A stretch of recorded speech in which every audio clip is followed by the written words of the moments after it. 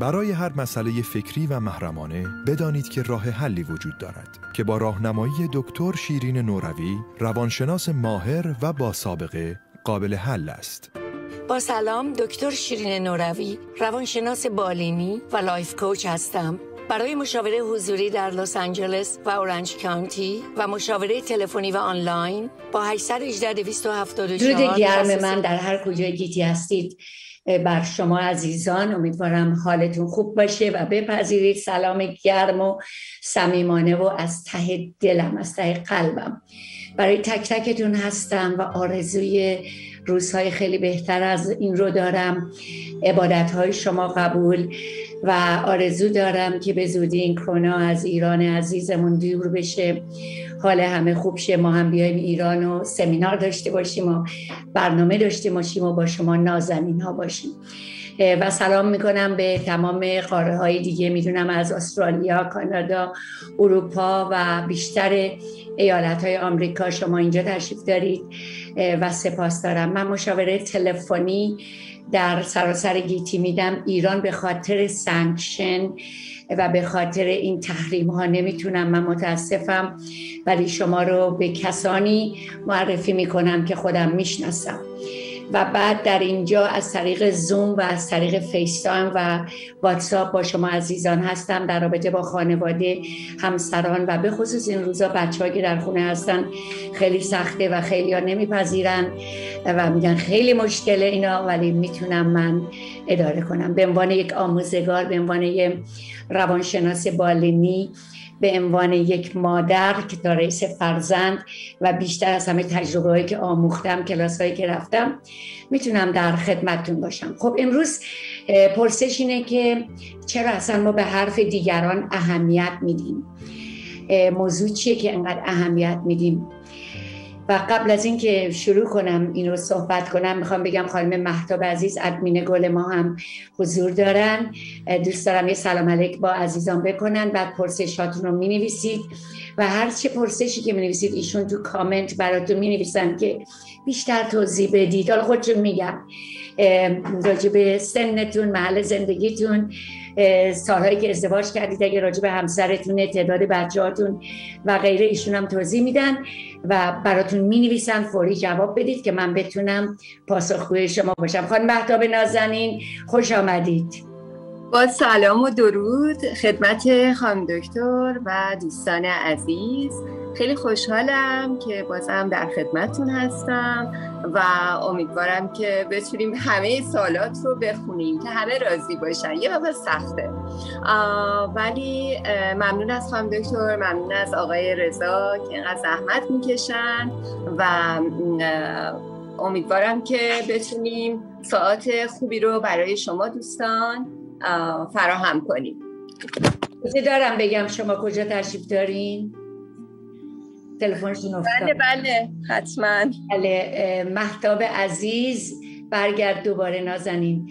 از ترکیه آمدن. ایشون سابقه طولانی دو سال در ترکیه سالها در دوبه به عنوان آژانس ایجنت ریل استیت بودن و حالا آمدن ارواین شانس منه و در منزل من هستن الان و برنامه رو با هم اجرا می‌کنیم و انشالله که همچنین ادامه پیدا می‌کنه برنامه. و خوش آمدید محتاب گلم دوربین محتاب جون افتاد داره درست می‌کنه. نگران نباشید. خب امروز راجع به امروز راجع به موضوعی که می‌خوام صحبت کنم اینه که حرفهای مردم چقدر برای شما مهمه؟ چقدر شما اهمیت می‌دید به حرفهای دیگران؟ صدای من جا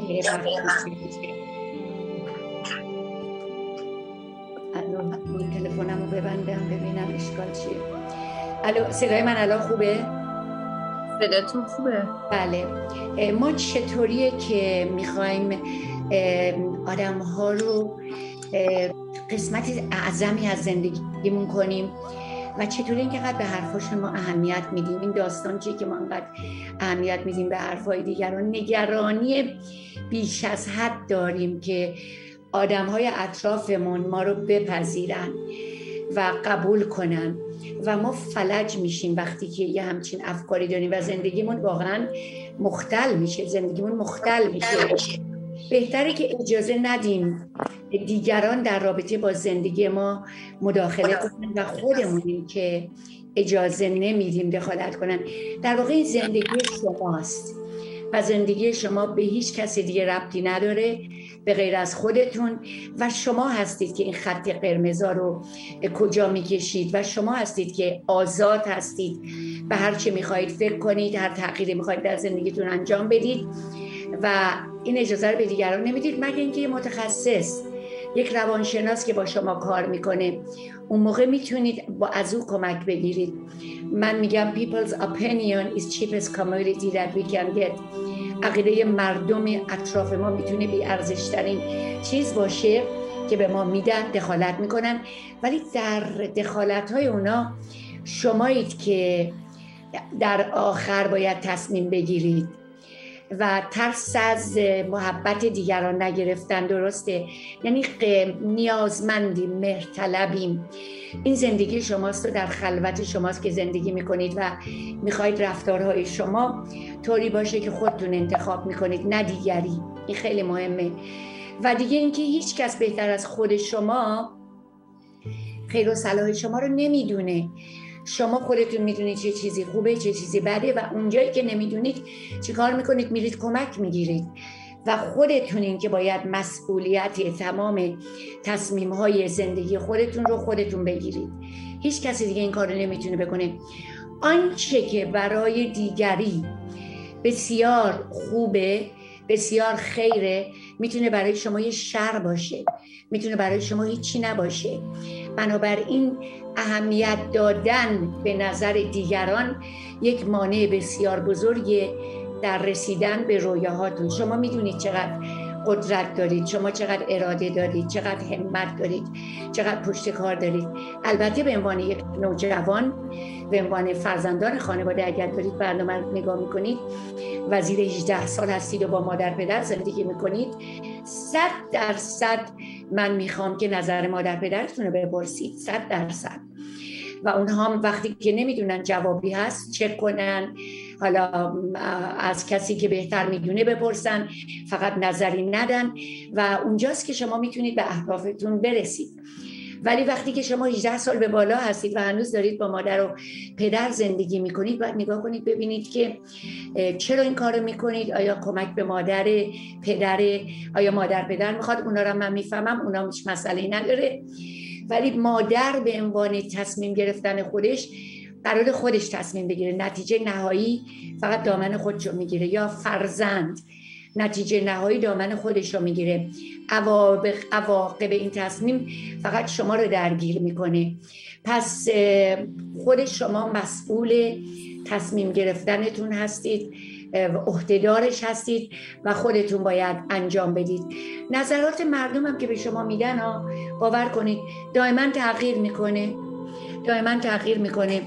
و اگر هم نظر بدی بدن که شما دیگه مدت ها سرزنششون می‌کنین که تو اینو گفتی تو اینو گفتی و کارساز نیست. ما باید یک شخصیت ثابت داشته باشیم خودمون ریسرچ کنیم خودمون مشاوره کنیم خودمون تصمیم بگیریم و از قضاوت دیگران هم نترسیم. زندگی به معنای واقعی واقعا خیلی کوتاهه و اگر ما این شانس رو به خودمون ندیم که یاد نگیریم ما قراره ترای کنیم فال کنیم بیفتیم. یه بچه که را میفته می‌بینیم که چقدر میفته آیا ما همه جیغ داد می‌کنیم میریم میگیریمش؟ نه فرصت میدیم که بیفته. زمانی که دو چرخه سواری بهش یاد میدیم با سه چرخه شروع می‌کنیم با یه چرخه اضافه می‌کنیم می‌ذاریم بره. نمیگیریمش. ولی خیلی از شماها بچه هاتون گرفتید و ولم نمی‌کنید. ولم نمی‌کنید من همین امروز مشاوره داشتم که چه مادر پدر تحصیل کرده چه مادر پدر خوبی ولی چه مادر پدر اوور یعنی اینکه کنترل این باید بچه من اینجا بره این دانشگاه تمام کنه. بچه یا استعدادش رو نداره یا زورگویی نمی‌خواد گوش بکنه. یا در واقع لجبازی داره می‌کنه. یا اصلا دیپرس بیمار تراماتایز شده. خیلی مسائل دیگه و شما نمی‌دونید. بنابراین من پیشنهادم به شما اینه که حتما در این موارد کمک بگیرید. کمک خیلی کمکتون می‌کنه. و بعد اینه که فکر می‌کنید که آدما نشستن همش به شما فکر می‌کنن. مثلا یه مهمانی میرید لباس من چی ریختم چی همه اومدن خودشون نشون بدم و, و شما نظرتون نظر اونا رو می‌گیرید و حقیقت تلخی رو ممکنه به شما بگن و حالتون بد بشه. ولی اونا بیشتر به فکر زندگی خودشون هستن. گاهی احساس مزاحمت هم می‌کنن وقتی که شما مرتب می‌خواید نظر اونا رو بگیرید. و در ضمن راجع به محبت طلبی گفتیم حقیقت تلخینه که راضی نگه داشتن همه مردم غیر ممکنه. امکان نداره شما بتونید همه آدم ها رو راضی بکنید. امکان نداره شما بتونید مطابق انتظارات و توقعات اونا برنامه ریزی کنید زندگیتون. امکان ندارید نداره. بنابراین نگاه کنید ببینید که چی شما رو اذیت می‌کنه. حتما کمک بگیرید مشاوره بگیرید و این بار سنگینم سر کسی دیگه نگذارید. خب محتاب خانم چه خبر؟ اوضاع چطوره؟ همه چی عالی. شهر زیبای شما ارواین که بسیار زیبا و من واقعا خوشحالم از اینکه در کنار عزیزی مثل شما هستم و شما اینجا اینو من خاطرم جمعه. هم که دیشب بهتون زحمت دادیم. ممنونم. واقعا معجزه است و که تشریف دارید. جونم به پرسشی هست بفرمایید. بله. هم دکتر گفتن که اگه حرف دیگران برامون مهمه یعنی اینکه ما اعتماد به نفس پایینی داریم. می‌تونه بله حرمت به نفس اعتماد به نفس اینه که من در انجام خیلی کارا خیلی خوبم خیلی کارا انجام دم حرمت به نفس اون فیلینگ و احساسی است که به خودم دارم. حرمت به نفس خودم به وجود خودم به ذات خودم. من اگر طوری تربیت شدم که این حرمت به نفس رو مادر پدر به من دادن و من گرفتم و اگر نگرفتم دارم رو خودم کار می‌کنم دیگه احتیاجی ندارم که از هر کس و بی کسی بیام اظهار نظر بگیرم و بگم من درستم یا غلط. بنابراین خیلی قشنگ گفتم خیلی قشنگ گفتم. جانم. بعد خب گفتن که چطور اعتماد به نفسمون رو بالا ببریم تا مورد تهاجم حرفای دیگران قرار نگیریم. اوکی عزیزم فرست آوال اولا وقتی که شما حرمت به نفست بالاست شما به هیچ وجه به هیچ وجه به هیچ وجه مورد تهاجم هیچ کس واقع نمیشید. چیزی که اتفاق میفته از کودکی ما مادر و پدر ما رو مقایسه کردن تنبیه کردن می نویسم توهین کردن تهدید کردن.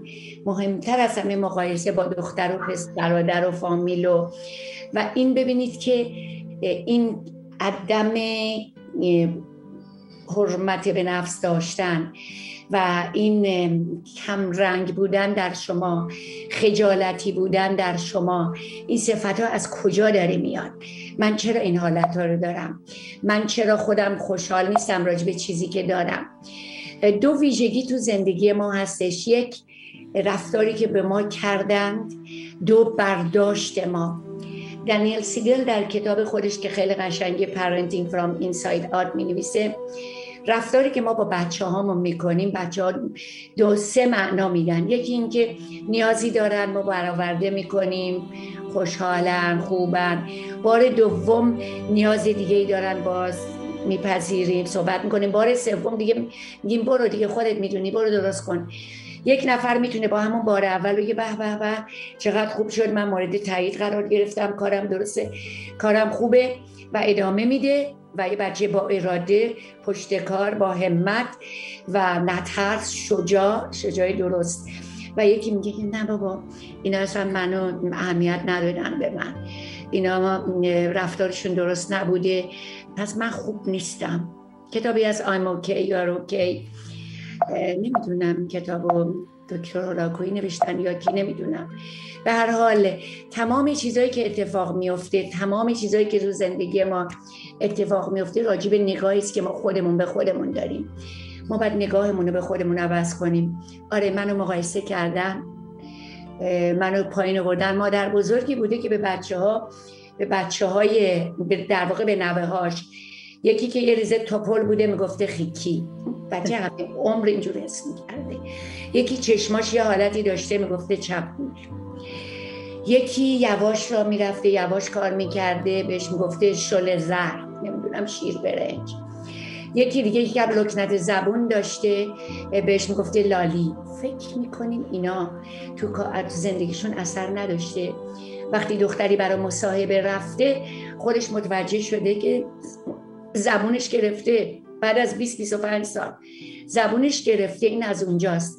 اون شخصی که بهش گفتن شل شل و شیر برنج و اینا با سواد فوق مهندسی موقع مصاحبه خودش رو شل حس کرده بیورزه حس کرده و وقتی که حقوق 50 هزار دلاری رو بهش گفتن و خودش تصمیم گرفته 75 هزار دلار بگیره نتونسته بگه. نتونسته بگه و به کسی مثل این ماشین کار می‌دادن بهشون نتونسته بگه که من هم باید اینو بگیرم. بنا اسم فیلم را هم یادم رفته فیلم دیگه هست راجع به این موضوع. بنابراین نگاه کنید ببینید که هر جا ما قرار گرفتیم اینه که خودمون یه جورایی ندونسته هستیم. ما قرار مهارت های اجتماعی یاد بگیریم. ما قرار مربی داشته باشیم. ما قرار کوچ داشته باشیم. هر شخص موفقی هر سناتوری هر رئیس جمهوری آه چندین کوچ دارن. ولی خب ما این باور رو نداریم و یه جوری راه خودمون میریم و دوچاره مشکل میشیم. یکی از مسائلی که هستش کسانی که سلف استیم ندارن و این درصدش در آمریکا خیلی زیاده و آمار زیاده. حتی صحبت کردن در برابر یک نفر براشون سخته تماس چشمی ندارن و میلرزن قلبشون تپش قلب و خیس عرق کردن و غیره. دهان تلخ شدن نفس گرفتن ما اینا باید بشین جلو آینه نگاه کنیم با خودمون صحبت کنیم تمام ابعاد زندگیمون رو ببینیم. اه تو تو این کار خیلی خوب بودی. تو با این معلمت خوب حرف زدی. تو با دوستات خیلی خوب حرف می‌زنی بقیه هم مثل اونا. اونجایی که ما از مردم دیگه نمیترسیم چون مردمی که ما میترسیم اونا بیشتر میترسن از شما. اونجایی که به قول دیوید ویسکات که فوت کرد من سمینارشو سی سال پیش رفتیم میگفتش که خودتون باشین. اگر با یه آدم خیلی موفق دارید میرید بیرون و همین حالت این هستید که اوه اون آدم خیلی مهمه. من دارم میرم بیرون دست, پا... دست پاچه میشین ولی اون آدم از شما بعدش میاد. در اگر مثل خودش باش رفتار کنید و صمیمانه خوب نه که اسم کوچکش رو بگید ولی خودتون رو اونجوری پایین و بدبخت نبینید می‌بینید که اونم یه آدمه. اونم یه آدمه که چقدر لذت می‌بره از اینکه شماها برابرین. ما برابر نیستیم زن و مردم ما برابریم یکسان نیستیم. پس این تمرین ها رو انجام بدید. شما توانایی زیاد دارید خانم. self-esteem رو دارم میگم. تواناییاتون اینجا بنویسید. و من بهتون میگم که self-esteem تون چگونه است. سوال بعدی نازنین. بله خانم خانم دکتر خانم به نام سونیا گفتن که من 42 سالمه. تو بچگی خیلی از طرف مادرم خیلی رفتار مادرم نسبت به من سختگیرانه بوده. الان دیگه اصلا برای هر چیز کوچیکی مشکل پیدا می‌کنم همش ترس دارم و نمی‌تونم وقتی هم نمی‌تونم مقاومت کنم دیگه میگم ولش کن خودمو به خدا میسپارم. ایسی خب خود سپردن به خدا و لتگو کردن و رها کردن چیز خوبیه ولی خداوندم نمی‌خواد ما فقط خودمون رو بسپریم و هیچ کاری نکنیم. خداوند به ما عقل عادی عقل سلیم داده و اینکه ما خودمون باید یه کاری راجی به خودمون بکنیم. مادر من سختگیر بوده مادر من آتوریتوریم بوده مادر من دیکتاتور بوده مادر من بهتر از این نمی‌دونسته. آیا من هنوز باید همون باشم؟ آیا من باید جا بزنم و بسپرم که هرچی پیش بیاد بیاد و ترس هامو روبرو نشم باش؟ ما یه موقع ترس داریم. ترس می‌تونه ترس واقعی باشه. ترس از آتش سوزی باشه. ترس از کرونا باشه. ترس از زلزله باشه. ترس از سیل باشه. اینا درسته. ولی از زندگی ترسیدن یه نوع استرابه. یک نوع انگزایتیه اونجاست که من می‌خوام استرسه اونجاست که من می‌خوام شما با این استرستون با این استرابتون روبرو بشید. اونجاست که من می‌خوام شما بیایید و شیفت کنید و بگید که حرف دیگران دیگه مهم نیست. ایشون به شما گفته و همه چی گذشته و الانه که شما به که بسپرید به خداوند بزرگ که ما در نهایت به خداوند میسپریم همه چیزامونو به نهایت. ولی خداوندم از ما می‌خواد از عقل سلیممون استفاده کنیم. خداوند از ما می‌خواد کاری بکنیم. به ما خرد داده به ما عقل داده. وقتی ما رو آفریده نفس به ما داده. نفس لوامه نفس وجدان. که خودم با خودم می‌خوام چیکار کنم؟ من می‌خوام بگم اوکی مادرم اینو گفت من دیگه همین حالم بده و انزایتی رو دارم و و نه نه that doesn't work that doesn't work that doesn't work. شما قراره کاری بکنی که استراب و استرس تو خوب کنی و بدونی که ترس نیست دیگه استرابه. چه تأثیری داره روی بیماری های روانتنی شما؟ استرس و استراب تو تک تک اعضای بدن ما از مغز تا نوک پا اثر داره و ما رو بیمار می‌کنه. از بهتون بگم و بنویسید. از پوست و مو. زمانی که دچار این استرس ها میشید زمانی که پر مادر پدر سخت گیری داشتید و حرفی نمی‌تونستید بزنید خب حرفی نمی‌تونستید بزنید و اون حالت اخم کردن یا گارد بستن هستش این حالت از همون موقع باعث چین و صورت شما میشه. همچنین اکنون هم وقتی اینها رو دارین استرس استراب بر روی قدرت پوستی شما که وظیفه ترشح چربی داره اثر می‌ذاره و حال شما رو خراب می‌کنه. ترشح چربی رو کاهش میده. هورمون کورتیزول رو زیاد می‌کنه به جای هورمون های آدرنالین و هورمون های خیلی خوب دوپامین و کتکلامین پس شمایید که دارید این کار رو می‌کنید. این استرس شما این در واقع به نوع خودتون ترس شما روی قلب و عروق شما اثر می‌ذاره. اغلب اشخاصی که بیماری های قلبی دارن اغلب اشخاصی که بیماری سرطانی دارن فشار خون دارن ضربان قلب دارن همشون یک ریشه زیر از خانواده از درد. حالا ژنتیک رو بگذاریم. ژنتیک رو بگذاریم. کتاب شفای زندگی How to Heal Your Body لویس هی رو بخونید. شفای زندگی to Heal Your Body. حافظه شما تحت تاثیر این بیماری استرس هستش. و یه ریزه استرس خوبه که من بیام تکلیفم انجام بدم مشقامو بنویسم سر موقع برم کار سر موقع لباسم عوض کنم. ولی این که مرتب استرس داشته باشم قند خونم رو بالا می‌بره بیماری های شدید برای من به وجود میاره و ناگهانی من collapse می‌کنم و حالم بد میشه. استرس رو دستگاه گوارش شما اثر بدی می‌گذاره و در مورد بیماری های IBS همه اینا از بیماری های استرس هستش. خب من زیادتر نمیگم خواهم سوالای دیگری رو بگیم. خانمی گفتن که همسرم همیشه از من ایراد می‌گیره. همش استرس دارم چون که همش در مورد فیزیک من ایراد می‌گیره. و من به خاطر اینکه تاییدیه همسرم رو داشته باشم اصلا از زندگی نرمالم خارج شدم. یعنی اصلا نرمال زندگی نمی کنم اوکی. از فیزیک شما از بدن شما و احتمالا از چاقی شما ایراد می‌گیره. متاسفم. متاسفم این کارو می‌کنه و من جای شما بودم نه به خاطر ایشون. نه به خاطر ایشون. خودم به ظاهر خودم فیزیکم به عنوان یه زن می‌رسیدم نه برای ایشون. برای خودم. روزی که کرونا آمد من گفتم تو این برنامه یک بار من تا نزدیکای زور شوکه بودم. این چیه؟ بعد این تلفنم نگاه کردم این قرارات چی میشه دفتر نریم؟ یعنی چی؟ بعد تو این فکر بودم یک دفعه گفتم لباس رو عوض می‌کنی. میری تو اینستاگرام و میگی همه لباساشون رو عوض کنن همه توالت بکنن همه زندگیشون رو عوض کنن به هر نوعی که میشه. تازه اون موقع نمی‌دونستم. زومم نمی‌دونستم. گفتم فیس تایم می‌کنی و دونه دونه با همه صحبت کردم. client ها مراجعه کننده اون روزم و ادامه دادم. و از اون روز نشده. من روزی من حالا نمیگم همتون کسایی که دارید می‌بینید بدون آرایش بدون تغییر لباس. و حتی من اوایل منو میگم کفش پاشنه دارم میپوشیدم که می‌گفتم که office اینجا دفتره اینجا خونه نیست. تا شروع کردم یکی از اتاقامو office درست کردم نور گذاشتم آقای مهندس رضا آمدن ارواین کمک کردن. و تمام زندگی اینه.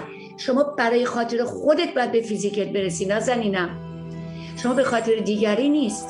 و بعد یه نفر می‌تونه شوهرتون باشه می‌تونه هم زنتون باشه. خواهر برادر بچه ها شما رو بیاره پایین. راجبه کیه که معنا می‌دید و میرید پایین؟ میافتید من چند بار بگم. If it is to be, it's up to me. ممنونم به من گفتی دیگم نگو خودم می‌دونم چی کار کنم. و ممنون میشم که یاد بگیری تشویق کنی. من الان روی این فلان رژیم هستم یه رژیم هست اینترمیتن بهش میگن از دوازده ظهر تا هشت شب شما می‌تونی همه چی بخوری همه چی اندازه. بعد دیگه چی نمی‌خوری صبح می‌تونی یه قهوه بدون شیر بخوری چیزی دیگه نمی‌خوری و عجیب و غریب شما وزن کم می‌کنی. این ارزون ترین نوع رژیم اگر دوست دارید و این نوع رژیم رو نمیگم به خاطر همسرت به خاطر حال احوال خودت به خاطر پوشیدن لباس های قدیمی که تنگه. و آرایش کردنت را رفتنت و خوشحال کردن خودت. امیدوارم بنویسی که این کارو می‌کنی. خب سال بعدی؟ بله. حالا من فقط یه چیزی می‌خواستم بگم خانم دکتر. من فکر کنم که خانوما واقعا همجوری که شما گفتین باید بیشتر به خودشون توجه کنن. ولی خودشون به خاطر دل خودشون نه به خاطر یکی دیگه. خیلی خوبه. خیلی خوبه. همسر آدم بچه های آدم دوروری ها اون چیزی رو که دوست دارم ببینم. ولی من همینم. منو باید به خاطر خودم ببینن. باید همدیگه رو دوست داشته باشیم و به هم احترام بذاریم.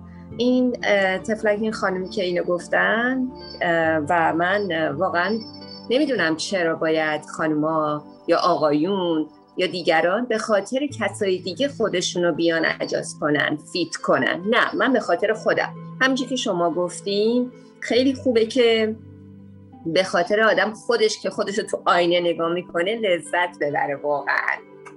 همینجوری که از خوردنمون لذت می‌بریم دقیقا. ببینید انتقاد سازنده اینو اضافه می‌کنم. انتقاد سازنده خوبه. اگر سه نفر می‌تونه شامل همسر مادر فرزندان باشه. به شما بگن مامان جون چرا این ریختی هستی؟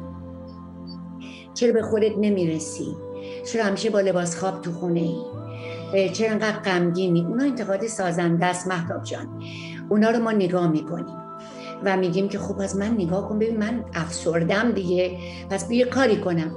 ولی اگر یک نفر شما رو می‌خواد بیاره پایین و شما میفتی پایین دیگه این بی احترامی به نفس و وجود و هویت خودته. دقیقا همینه که میگی. اونجا بی احترامیه ولی انتقادات سازنده خوبه. انتقاداتی که چند نفر دارن به ما انجام میدن. و میگن که مثلا همین راجع به زیبایی شما میگن راجع به نوع غذا خوردنت میگن. اینا یا راجع به الکل مواد مخدر مصرف می‌کنه. اگه سه نفر به شما دارن اینو میگن خب شما می‌دونی الکلی هستی. نه یک بار تو یک مهمونی مشروب خوردی و قضاوتت کنن. ولی سه نفر مختلف در سه جای مختلف. اینو نگاه کنیم. به شما میگن دیگه نمی‌تونی بگی که حرف مردم فوق العاده بیهوده است. چه خوبه. اینا یه هدیه است که جلو من داره میاد. اگر این دست من پاکه زخم نداره شما از من انتقاد کنی من میگم مرسی چه خوب. ولی اگر زخمه یعنی مثل نمک ریختن رو این دسته شما نمک میریزی میریزی. اگر این زخمه شما تا دهنتو باز می‌کنی من میگم وای وای فلفلدون و نمکدون اومد ریخت تو دستم. ازت متنفر میشم. پس همچنین ما باید توجه داشته باشیم چه کسایی چه زمانی چگونه با من صحبت می‌کنن. خب مهداد جان سوال بعدی خب، بله. حالا سوال کردن که چطور حرمت به نفسمون رو بالا ببریم خانم دکتر. من راجع به این گفتم. یک لیست خوب. دوباره سوال کردن آره یک لیست خوب. همونجا گفتم بنویسید. و یک لیست خوب راجع به این که چه کسایی به شما چی گفتند مثلا مثلا من خواهم محتاب ساده خودش به من بگه. من رو دربوسی هم نداره. خیلی هم قشنگ به من بگه که محاسن شما چیه؟ من می‌خوام یاد بگیرید شما. مح... من محاسنم رو به شما میگم چیه. خودم اول میگم بخواین. اگه من, نه من میگم. من عالی عالی. ای جونم محاسن شما چیه؟ محاسن من اینا هستش. اونا رو می‌خوایم بگیم بگو ببینم مهداد جون. اولا که من اصلا برام اهمیتی نداره حرف مردم ولی اگه به قول شما اینو امروز یاد گرفتم. یکی سه بار یه موضوعی رو به هم گفت روش فکر کنم. هیچ اشکالی نداره. فکر کردن که عیبی نداره. روش فکر می‌کنم. ولی در کل اعتماد به نفس بالایی دارم. اگه امروز دلم می‌خواد محتاب اگه دلش می‌خواد حتی حالا الان که امروز آمریکا ولی توی دوبی بودم تو ترکیه بودم. اونجوری که دلم می‌خواست از خونه بیرون می‌رفتم. این مال خودمه. اگه امروز دلم می‌خواست مثلا یه تیشرتی بپوشم که رنگش قرمزه. اصلا برام مهم نیست. دیگران به هم بگن بهت میاد یا نمیاد. چرا رنگ موت همیشه مشکیه؟ من دوست دارم. برای اینکه من اینم. خداوند منو اینجوری آفریده. من اون, چیزی که منو آفریده رو دوست دارم. و اعتماد به نفس نسبتا بالایی دارم خواهم دکتر. می‌تونم در مقابل خیلی کسا بشینم ساعتها به حرفشون گوش بدم بدون اینکه جاجش کنم قضاوتش کنم. ولی اگه از منم انتقاد کرد بشنوم باهاش برخوردیم نکنم. لبخند بزنم سعی کنم یا از اون محیط زودتر بیام بیرون یا اینکه یه چیزی بگم که اصلا ناراحت نشه. اصلا نباید بیای از اونجا بیرون. وقتی که شما برای خودت یک حرمت به نفس ارزش و احترام قائلی بله. برای دیگران هم ارزش و احترام قائلی و بله. همون بخش از عزت نفسه که اون رو حرمت نفس میگیم. بله. عزت نفس حرمت من نمیرم بیرون نمیرید بیرون. همونجا هستید درس تو باید همونجا یاد بگیری. یاد بگیری. بله. نمیری و یکی از چیزهای عزت به نفس این که خودم رو دوست داشته باشم و دیگرانم دوست داشته باشم. اون کسی که داره این حرف رو می‌زنه it's okay یه هدیه می‌تونه باشه. می‌تونه یه هدیه باشه. و من که برای خودم احترام قائلم باش صحبت می‌کنم و با I statement I statement به معنای اینه که به فارسیش نمی‌دونم من احساس می‌کنم که شما الان نمی‌خوای به من کمک کنی می‌خوای منو بیاری پایین. و اگه می‌خوای به من کمک کنی می‌تونی اینجوری با من حرف بزنی با احترام با من حرف بزنی. خب؟ بله. پس سه قسمتی که ما برای عزت به نفس در واقع داریم خودمون رو دوست داریم. دیگران رو هم دوست داریم. برای خودمون احترام قائلیم برای دیگری هم احترام قائلیم. این همون بخش از عزت به نفس که اونو حرمت به نفسم میگیم. خودم رو هر چی که هست گفتی پذیرا هستم. دیگران هم همینطور که هست پذیرام. اگر من برای همتون میگم وقتی همچین مراحلی پیش میاد یا هر جا برخوردی پیش میاد من بذارم برم بیرون اونجاست که تسلیم شدم. من درسامو باید یاد بگیرم. من درسامو تو این زندگی باید یاد بگیرم. اون کسی هم که اومده جلوی من داره به من درس یاد میده. بله. پس اگر ما سه معیار رو در مورد خودمون رعایت بکنیم اونگاه باید بگم که ما فردی با عزت به نفس هستیم بدون تکبر هستیم. چون تو قهر فاصله است. تو رفتن تکبره و تو عزت به نفس اون نیست. خب؟ بله. خیلی خوب خیلی عالی خیلی عالی بله. خیلی عالی. مثلا قهر که می‌کنیم به نظر من اصلا قهر چیز خوبی نیست. برای اینکه همه چی کات میشه. آره، ولی به قول شما اگه ارتباط برقرار بشه هر چندم که اصلا اون طرف اشتباه صحبت کرده باشه کم کم می‌فهمه که اشتباه بوده. و میشه لابلای همین رفت آمدها یه چیزایی رو به هم بگیم که شاید اون طرف واقعا حالا اشتباه تصورات اشتباهی داشته. بله. ولی خب در کل خیلی جالب بود. بله شما که ماشاءالله همیشه چیزایی میگین که هر روز به ایده های آدم اضافه میشه برای درست زندگی کردن. جونم خب میگن که خیلی قطع و بس میشه. چرا؟ من تو از ادمینم نشنوم باور نمی کنم ادمین بله. بنویسید. سال بعدی. بله. خانم دکتر دختر خانومی هم گفتن که من 18 سالمه و نامزد کردم و نامزدم مرتب به هم میگه که عطر بزن به خودت. عطر بزن به خودت. عزیزم عطر بزن به خودت. تو چقدر زود نامزد کردی. خواهش می‌کنم اینقدر زود ازدواج نکن. یه مدت زیادی بمون. آیا فقط ببین ببین هنوز چقدر فکرت بچگانه است؟ پری فرانتال کورتکس شکل نگرفته گل من. امیدوارم وارد رابطه زناشویی نشی با این نامزد. و امیدوارم امیدوارم خودت رو حفظ کنی. حالا یه مقدار کمی عد زدنم اشکال نداره. بعد یه چیزای دیگه زیر این مسائل هست که تو شاید دوست نداری زیر بار چیزی بری. خب اونم بد نیست ولی می‌تونی باش کامیونیکیشن و ارتباط برقرار کنی. من که خب با زدن خیلی موافقم به اندازه که آلرژی نده حالتو بد نکنه. ولی چه چیزای دیگه از تو می‌خواد اینا رو لطفا بررسی کن. ببین کجا قرار گرفتی نامزد چند سالشه و تمام رعایت احترام به خودت. وارد رخت خواب نشدن دیگه بیشتر از این نمی‌تونم بگم. یواشکی اجازه دادن برای خیلی کارا می‌خوام نباشه و بیشتر در جمع باشید. تا ببینیم چی میشه. دیگه من نمی‌دونم به شما چی بگم چون بیشتر اطلاعات ندارم. چه چیزایی می‌گیره بنویسیم جونم سوال بعد بله.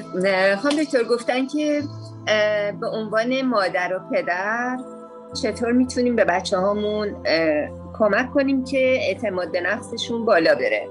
چند سالشونه بچه هاشون چند سالشونه؟ دو تا پسرن یکیش دوازده ساله و اون یکی هم سیزده سال یک سال اختلاف. بچه ها شکل می‌گیرن تا هشت سالگی مقداری از شخصیتشون و بقیه هنوز می‌تونید روشون کار کنید. تعریف دروغی نکنید ازشون. تعریف درست بکنید. اگر تکلیفشون رو انجام دادن به به چه اگر ندادن من به تو کمک می‌کنم که بهتر انجام بدی. اگر در رابطه با دوستاشون دوستی دارن حتما خوبه. ولی اگر ندارن دوستان بیشتری تو شبکه دوستاشون براشون ایجاد کنید. بدین ترتیب که رفت آمدهای خانوادگی رو کم کم حالا نمی‌دونم از کجا زنگ می‌زنن ایجاد کنید که بچه های همسن خودشون باشن. ورزش های متفاوت بفرستید بچه ها رو. ورزش های متفاوت بسیار خوبه. کلاس های موسیقی بفرستید. Being good. یه کتابه. وقتی که یه کار خوبی انجام میدن تشویقشون کنین. وقتی که یه کار خوبی انجام میدن تشویقشون کنین. نه زمانی که هر کاری می‌کنن. جایزه بدید. چارت درست کنید برای بچه های کوچکتر.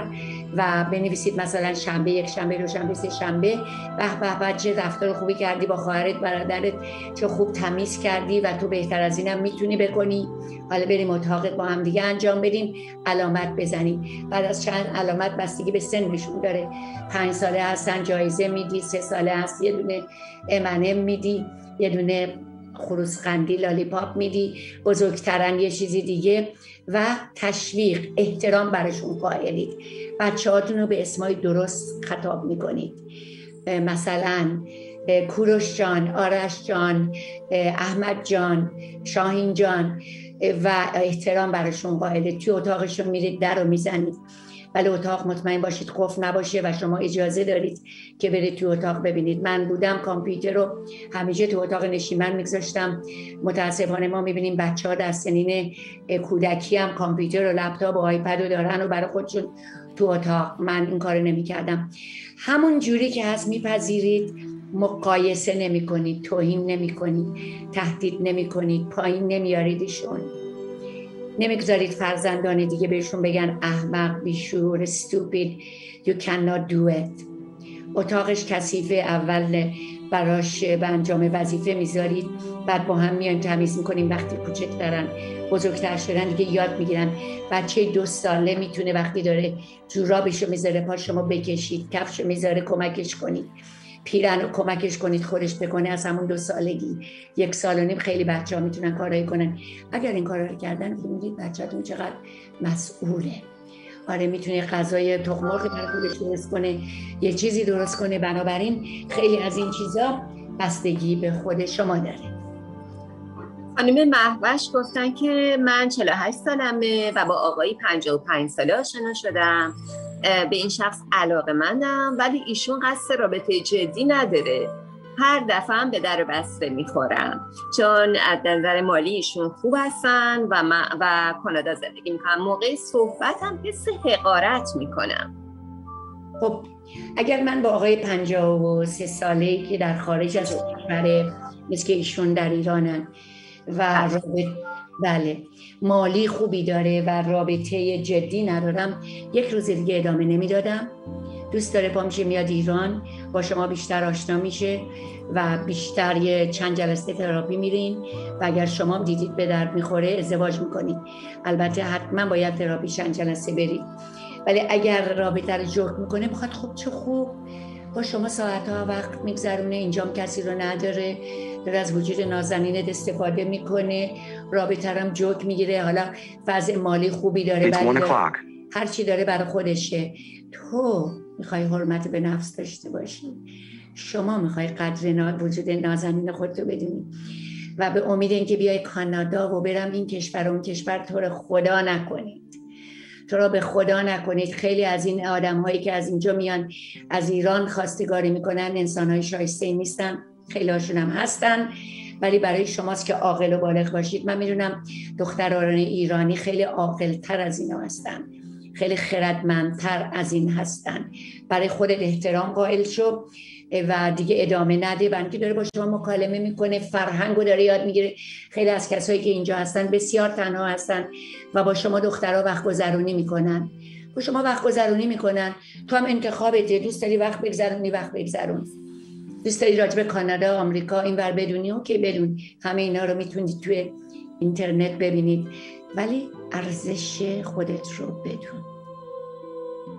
بدترین شکلش خانم دکتر اینه که ببخشید میگم بدترین شکل یعنی منظورم در ارتباط با صحبت های امروزتونه. اینه که این خانم میگن من حس حقارت می‌کنم. تموم کن. تموم کن. بدترین حسیست مرسی. بدترین حسیست که نفر می‌تونه بکنه. پس اون برای شما نیست. اون برای شما نیست و اون برای شما نیست. سال بعدی. خب من از آقای مهندس رضا تشکر می‌کنم دوستان عزیز از شبکه جهانی تلویزیون امید ایران قدردانم که ما هستیم از بینندگان خوب خدافزی می‌کنم و روی لینک خودم برای هر مسئله فکری و محرمانه بدانید که راه حلی وجود دارد که با راهنمایی دکتر شیرین نوروی روانشناس ماهر و با سابقه قابل حل است. با سلام دکتر شیرین نوروی روانشناس بالینی و life coach هستم. برای مشاوره حضوری در لس آنجلس و اورنج کانتی و مشاوره تلفنی و آنلاین با 818 274 6312 و 08 تماس بگیرید. 818 274 63 12